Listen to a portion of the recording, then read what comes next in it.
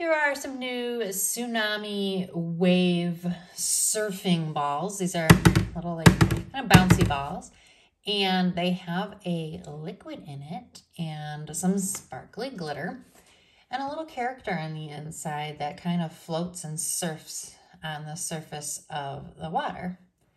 So you can see this one has a surfing duck. You can see how he kind of floats on the water inside. You can make it super wavy and he, he rides the waves. He doesn't sink. Whoa. Look at him go. It's actually quite mesmerizing to watch because all the little glitter pieces swirl, the water swirls, and then the, the duck just never goes underwater. So the blue one has the duck. This orange one has an astronaut that's kind of swirling around in space. I think of it as maybe liquid lava or something, or is floating around in there. And then the last one is a panda floating around in this pink water. You can see his little head there.